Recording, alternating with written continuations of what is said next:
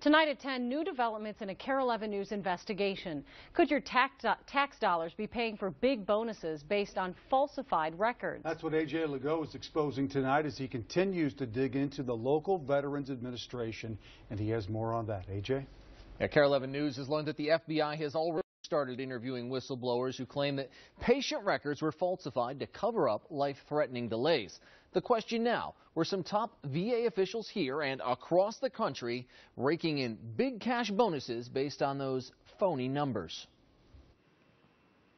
He died while the Minneapolis VA made him wait to see his doctor. 70 days just is too long. And adding insult to not just injury, but death, VA records claim Marine Corporal Jordan Buisman contacted them from the grave to ask for a further delay. Buisman had epilepsy and was suffering from seizures. His last would be fatal.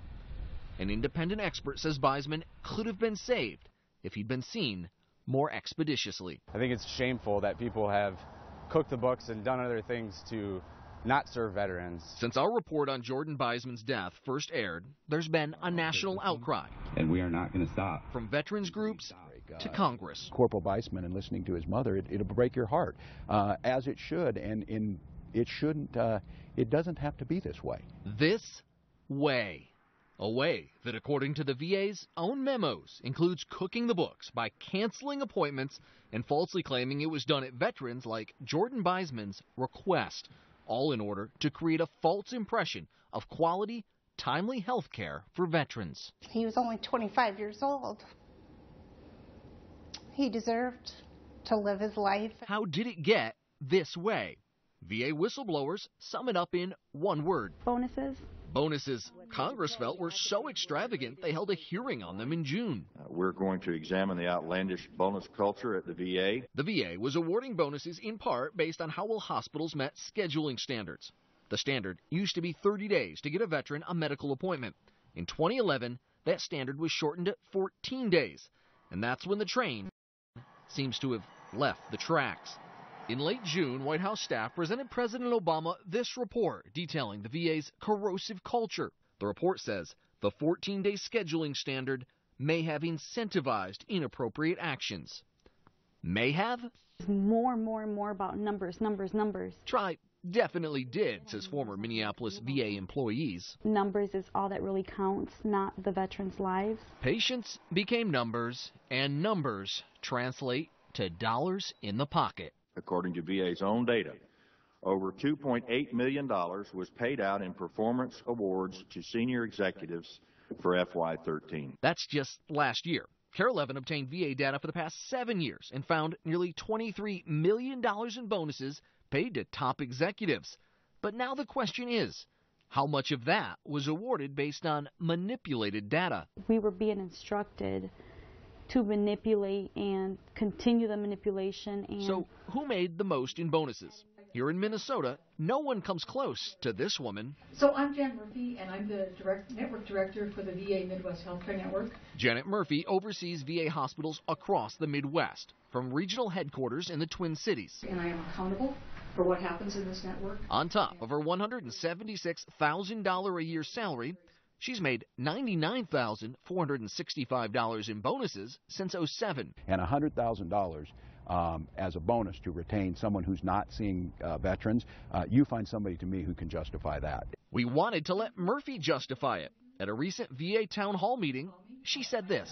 I'll, I talk to anybody who calls me. But when we called, Janet Murphy, please. We were told she was not available and would likely not be available at any point to talk with us. The former Minneapolis VA director, Stephen Kleinglass, was another recipient of big bonuses. He was paid a salary of $180,000 a year, and from 2007 to 2010, he received 76,000 in bonuses. He retired at the end of 2011 and was given an additional award of nearly 63 grand. And the VA is continuously saying we need more money. We need more money for more doctors. We need more money for more nurses. We need money for computers you've got monies. The House Committee on Veterans Affairs provided us with figures showing the VA awarded to all of its employees more than $278 million in bonuses and various incentives in 2013 alone. If those bonuses uh, were given out, taxpayer money, under false pretenses, when in fact records were being doctored or wasn't true, uh, I don't think that's right. Senator Klobuchar is now the co-sponsor on legislation receiving strong bipartisan support to make VA employees who receive bonuses pay them back if it's shown they contributed to falsifying waitlist records. We're going to have to get that money back if it's proven that they did that. While some of the bonuses may end up being paid back, what can't be given back is the days and weeks and months veterans have been forced to wait for care. Some of them, like Jordan Buisman, couldn't wait. I miss hearing his voice.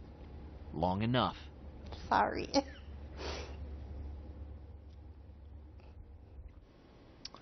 In one of his last actions before resigning under fire, former VA Secretary Eric Shinseki suspended the awarding of bonuses for 2014 and ordered that patient wait times no longer be a part of employee performance reviews. Julie. Well, we did talk about the former Minneapolis VA director and his bonus. The current director, was it suspended before he was able to receive a bonus? Well, yeah, he actually has not received any bonus. Patrick Kelly is the current director over at the Minneapolis VA. He was appointed in June of 2013, and there's no record that he's received any of the performance bonuses that are now in question. I can tell you this right before I walked in here on set, I learned that the FBI will be interviewing additional Minneapolis VA employees tomorrow. All right. Well, we know you're staying on top of it.